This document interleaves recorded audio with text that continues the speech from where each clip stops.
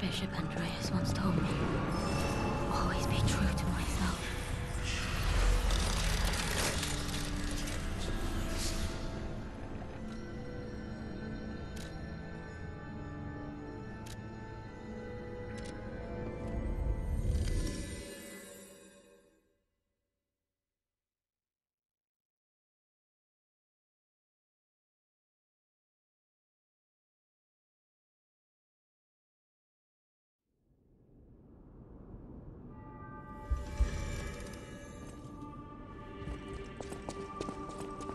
Use my power.